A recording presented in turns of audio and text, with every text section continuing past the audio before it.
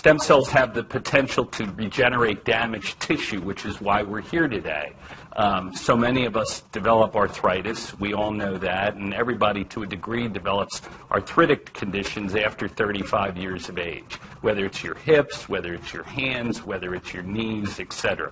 Um, we have a Jay Joshi here today to talk about the low back. We're in, John Hall and myself are injectionists, so we're trying to prevent people from ultimately having surgery, and we think this may be a new step to prevent having fusions in the back, which you folks may be aware of. Stem cells act as the body's repair cell. Again, we all have them. We have the ability to uh, repair.